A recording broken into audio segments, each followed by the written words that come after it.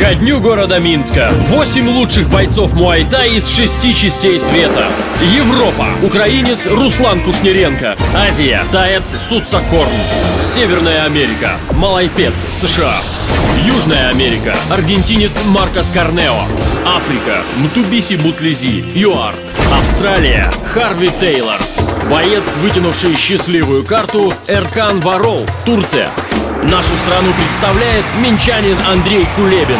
Большая восьмерка в Минске. 12 сентября. Минск-арена.